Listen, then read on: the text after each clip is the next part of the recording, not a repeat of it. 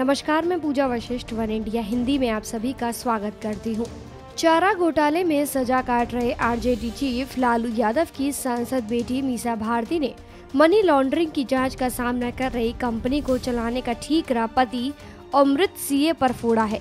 जब ईडी ने पूछताछ की तो उन्होंने बताया कि कंपनी के रोज़मर्रा के कामकाज उनके पति शैलेश और सीए स्वर्गीय संदीप शर्मा ही देखते थे।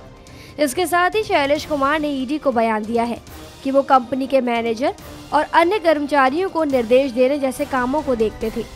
हालाँकि प्रवर्तन निदेशालय का कहना है कि मीसा और उनके पति शैलेश कुमार दोनों ने मुखौटा कंपनियों के ज़रिए एक दशमलव दो करोड़ रुपए की मनी लॉन्ड्रिंग की साजिश की है।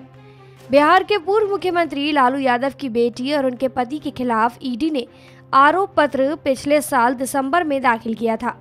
इसमें कहा गया है कि अपराध से जुटाए गए धन से ये दोनों भी सक्रिय रूप से संबंध रहे और इस मामले के पक्ष में हैं।